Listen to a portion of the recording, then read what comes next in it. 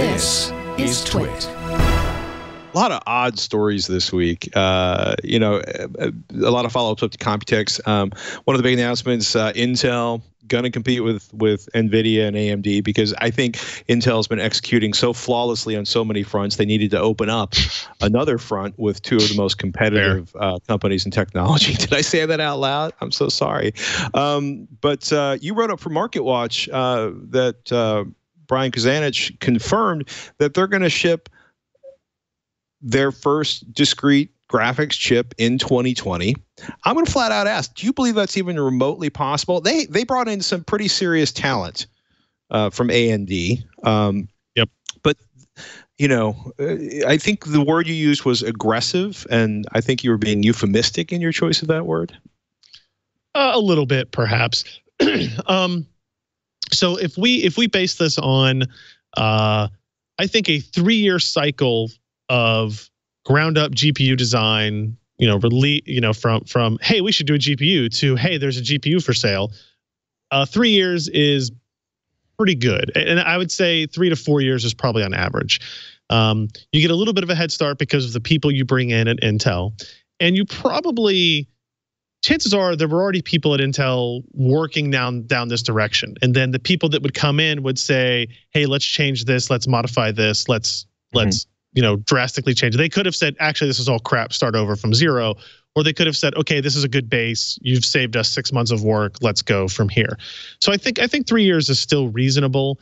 And if you look at, um, you know, Raja came over in what November of 2017. So November of 2020 still counts as 2020, and that would be your three year out from his specific arrival. Um, so I, I I'd still say yes, it's aggressive, but I think it's I think it's feasible, and it's also I, I think I think Intel needs to be aggressive in this in this mm-hmm. spot, right? They are well behind everybody, and by well behind I mean they don't have an option at all. So they're very far behind.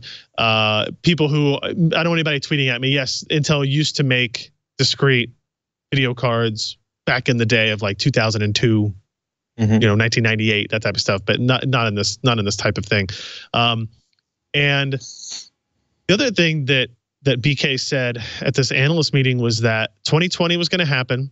That was their target, and uh, that they were both going to build for consumer and enterprise spaces.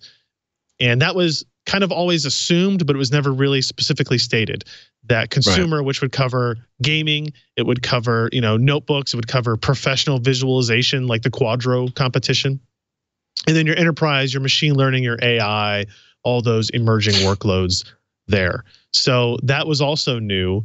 Um, I, I, I think I think it makes sense. I think probably why would they tell us now? There were some people who were commenting, why would you pre-announce something like this that far in advance? And I think a lot of that comes from uh, there had been a lot of rumors a month or two ago that oh, Intel's going to have they're going to launch their GPU product at CES 2019, which is you know in less than six months and that was it was never a feasible option. It was always kind of crazy to talk like that but the rumor mill had started to churn up and was was mm-hmm. solidifying into this into this avenue. And so i think for them it was as much of a we need to control this story now. It's going to blow up. And what they didn't want it to be was right. intel delays gpu release intel delays gpu release etc when in reality they're always planning on this particular timetable. So now it's out there. Now we know. Now there's no question about it.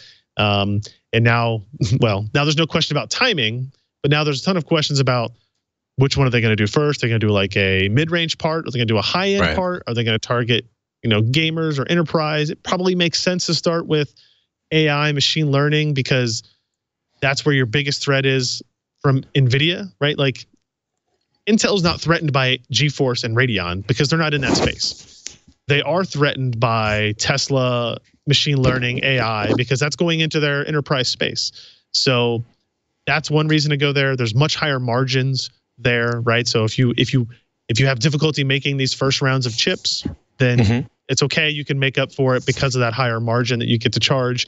Whereas with the gaming, the gaming is where you go where uh, when you know your architecture, you know how how things are yielding, and you have your software set up exactly right. That's where the uh, you know, hey, if you're four or five percent behind, you know a GeForce part or Radeon part, you're going to get smacked around for it pretty dramatically. That's where that that story is. So they need to make sure they have everything else in line before they get there. But uh, I mean, 2020 is not that far, right?